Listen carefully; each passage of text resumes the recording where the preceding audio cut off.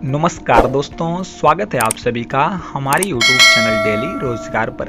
दोस्तों तो यदि आप भी मध्य प्रदेश राज्य के मूल निवासी हैं और बैंकिंग सेक्टर के अंतर्गत एक अच्छे स्तर की नौकरी की तलाश में जुटे हुए हैं तो आप सभी के लिए आज का वीडियो काफ़ी महत्वपूर्ण होने वाला है।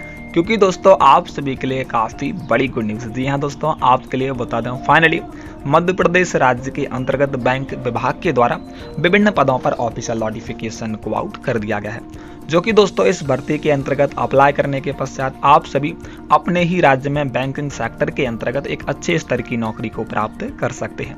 जो कि दोस्तों, आप चाहे मध्य प्रदेश राज्य के किसी भी ज़िले या फिर किसी भी ग्राम से निवास करते हो, प्रत्येक मेल एवं फील, यानी कि सभी लड़के और लड़कियाँ ही इस भर्ती हेतु सफलतापूर्वक अप्लाई कर सकते हैं, जिसकी आवेदन प्रक्रिया ऑलरेडी ही प्रारंभ की जा चुकी है। और आप सभी 20 सितंबर 2024 तक इस भर्ती हेतु सफलतापूर्वक ही अप्लाई कर सकते हैं।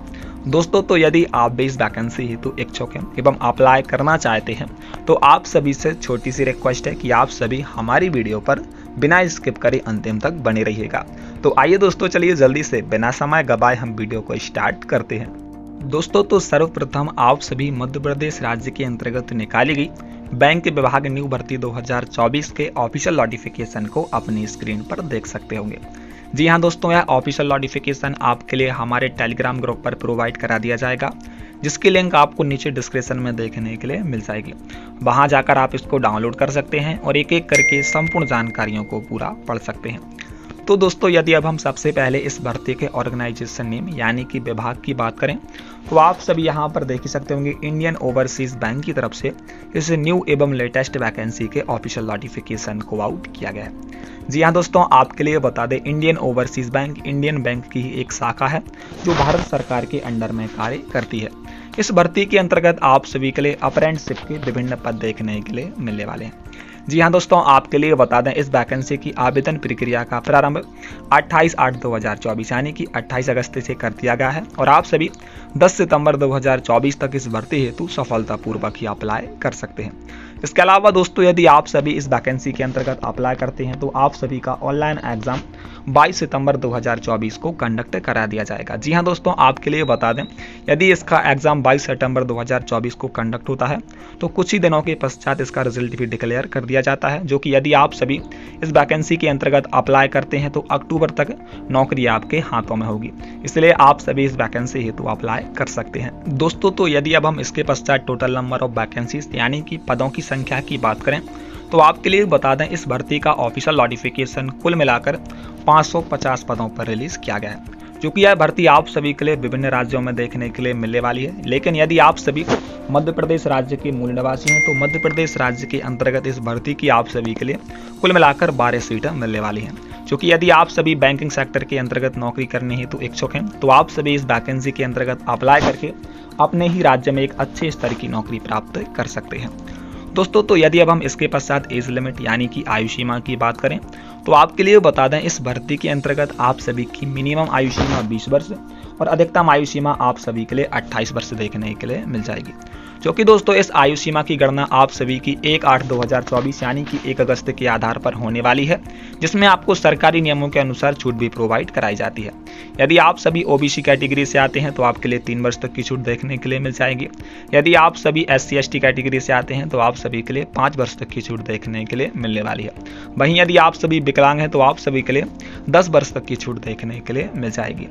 दोस्तों तो यदि अब हम इसके पश्चात एजुकेशन क्वालिफिकेशन यानी कि शैक्षणिक योग्यताओं की बात करें तो इसकी जानकारी आप सभी यहाँ से प्राप्त कर सकते हैं। जी हाँ दोस्तों, आपके लिए बता दें, यदि आपने किसी भी मान्यता प्राप्त विश्वविद्यालय से, किसी भी स्ट्रीम से, यानी कि किसी भी विषय से ग्रेजुएशन की डिग्री को कंप्लीट किया हुआ है तो आप सभी इस वैकेंसी हेतु सफलतापूर्वक ही अप्लाई कर सकते हैं।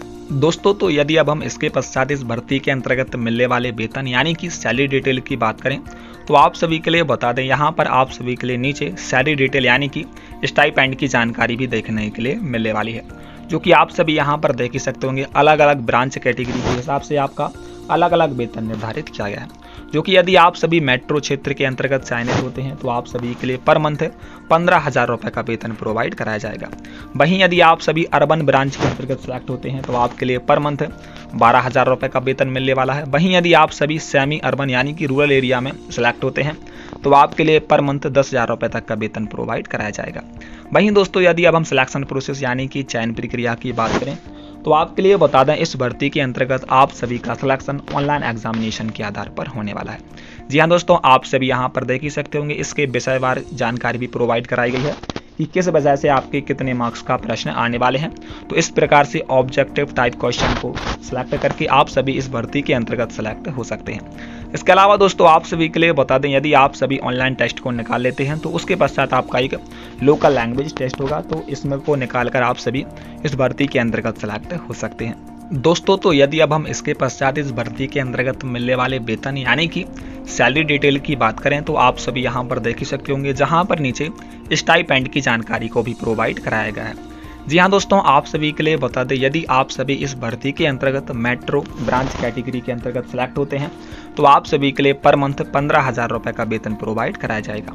वहीं दोस्तों, यदि आप सभी अर्बन एरिया के अंतर्गत चयनित होते हैं तो आप सभी के लिए पर मंथ बारह हज़ार रुपये का वेतन मिलने वाला है। लेकिन दोस्तों, इसके अलावा यदि आप सभी सेमी अर्बन और रूरल एरिया के अंतर्गत सिलेक्ट होते हैं तो आप सभी के लिए पर मंथ दस हज़ार रुपये तक का वेतन प्रोवाइड कराया जाएगा। वहीं दोस्तों तो यदि अब हम इसके पश्चात सिलेक्शन प्रोसेस यानी कि चयन प्रक्रिया की बात करें तो आप सभी के लिए बता दें, इस वैकेंसी के अंतर्गत आप सभी का सिलेक्शन दो चरणों के आधार पर होने वाला है। सबसे पहले आप सभी का ऑनलाइन एग्जामिनेशन कंडक्ट कराया जाएगा।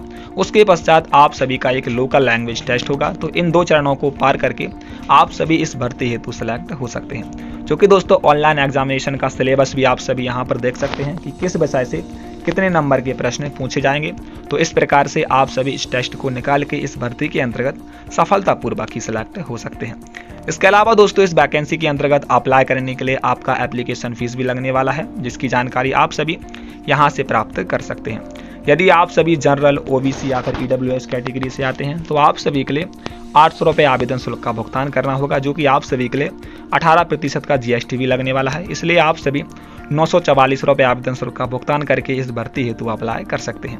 वहीं यदि आप सभी महिलाएँ हैं या फिर एस सी कैटेगरी से आते हैं तो आप सभी सात सौ आठ रुपये शुल्क का भुगतान करके इस वैकेंसी हेतु अप्लाई कर सकते हैं। वहीं यदि आप सभी पीडब्ल्यूडी कैटेगरी से आते हैं तो आप सभी चार सौ बहत्तर रुपये आवेदन शुल्क का भुगतान करके इस वैकेंसी हेतु सफलतापूर्वक ही अप्लाई कर सकते हैं।